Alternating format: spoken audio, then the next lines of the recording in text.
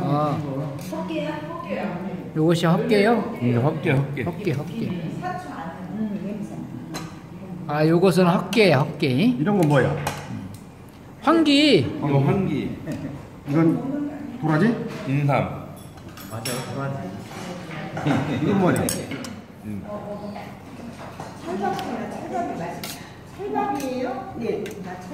음, 여기는 또 찰밥까지 주네. 이제 이게 다 먹고 여기 국물 좀 좀 줘봐. 맛 좀.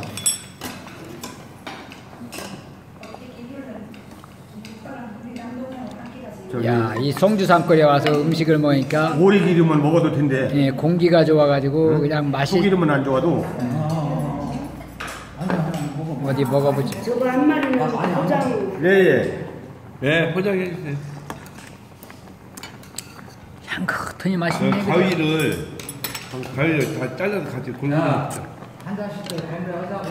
저 이거 좀 저기 들어갔는데? 맛있어. 뚝뚝뚝스라는 특이하네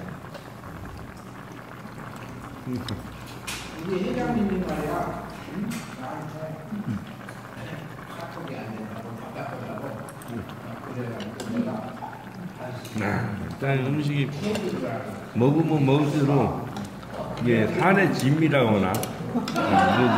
이게 산에 와서 먹는 오리고기가 아니 그래서 아주 그 마음에 딱 왔는 그 느낌이 내 고향이 참 그래도 이쪽이라서 그런지 몰라도 그 우리 그 시골 음식 내그정 그 시골에 야, 나도 그래서 음식 2년 전만 해도 국내에 있었는데 음, 옛날 들어가지고 추억이 그대로 있는 것 같습니다.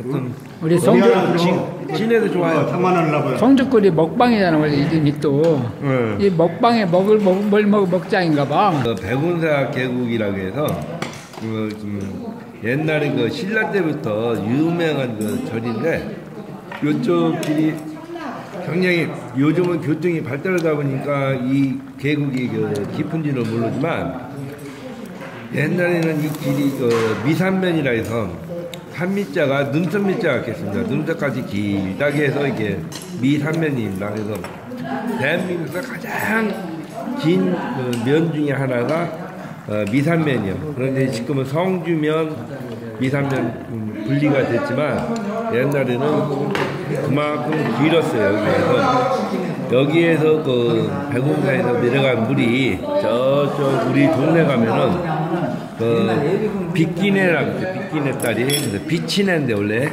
그 쌀뜨 물이 여기에서 내려간 물이 음, 비친다 해서 어, 다리가 비치네 다리까지 있는데 아주 깊은 계곡에서 어, 그래도 맛있는 음식을 먹으니 그래도 옛날에 그 고향의 그 정치가 그대로 풍깁니다. 예, 참 좋습니다. 그 교수님하고 같이 음식 먹는 게 너무 좋습니다.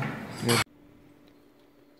오리 백숙 만드는 레시피를 간단하게 좀 올려보겠습니다. 먹기만 했는데 독자들이 또 만드는 방법이 궁금할 수도 있죠.